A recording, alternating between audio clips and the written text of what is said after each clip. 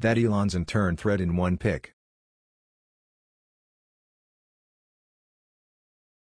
I have an app idea.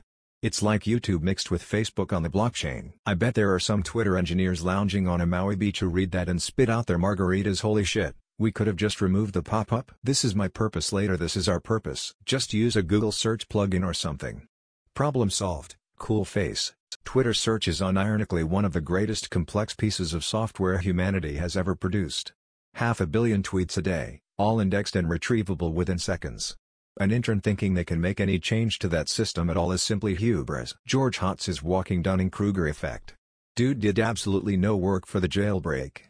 Just strung together existing exploits and was the first public face for it. I've seen his programming streams.